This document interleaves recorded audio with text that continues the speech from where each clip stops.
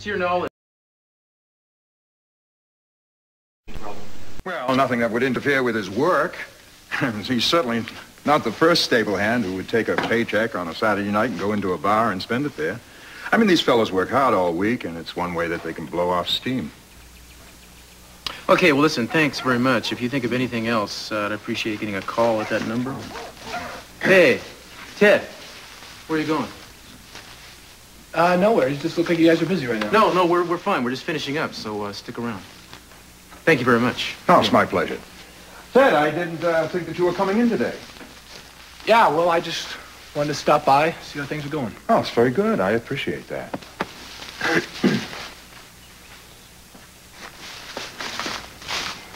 You came here looking for Jake Morton, didn't you? Hey, you've been talking to Hayley, haven't you? That's right, I have, and I want to talk to you. Now, you see, what happened to Hayley has become a police matter, so you can relax and let us do the investigation. You're gonna go after the right guy? If that means Jake, we are going to question him, but he's a suspect. Oh, come on, Cruz! That's why I don't want to go to the police. You guys are going to waste your time on a second choice, a third choice, however many, while the guy who did it, Cruz, is going to slip out the back. Look, look. I don't want that to happen. Look, I understand why you're so hot on the idea that it's got to be him. You bet I am. Now, I'm telling you, Jake has had his eye on her for months. He, he has finally just given up because she's just turned him down too many times. I don't know why I should have to explain to you, Ted, how easy it is to be sent up on a rape beef on circumstantial evidence. Now, if Jake is the guy who did it, I'll nail him. You got my promise. If he's not, you and I are going to leave him alone. If it goes to trial, rape is one of the hardest convictions to get, Cruz. Now, I'm just going to make sure that he gets what, what's coming Hey, to him. wait a second. You wait a second.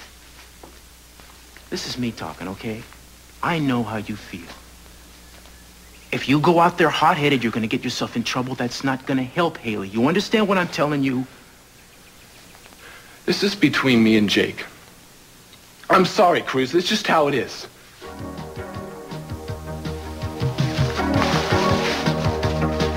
All right. Uh, put a tail on him right now. And if uh, before anything gets out out of line, too hot to handle, I want him brought in. Will do.